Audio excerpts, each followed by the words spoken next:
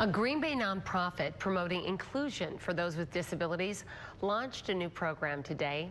CP held its first event for all-included community-based equity and inclusion.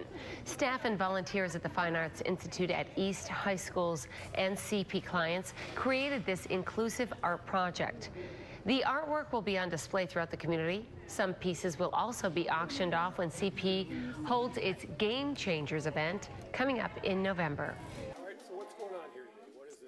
Today we're kicking off our All Included program with an art project in collaboration with Urban Cultural Arts Center.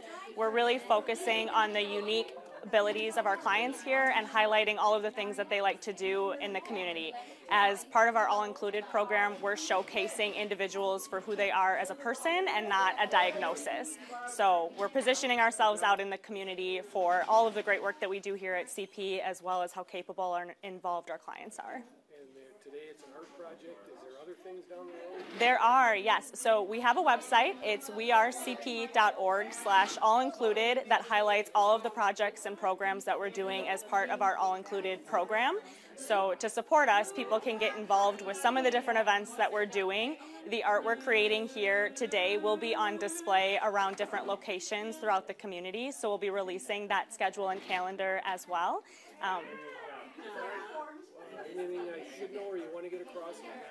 Um, yeah, so I'm trying to think here. We're really focusing on building a future where everyone's included and involved, and that's what All Included is about. So, highlighting how everyone can be a part of Northeast Wisconsin and come together for collaborative events like this one.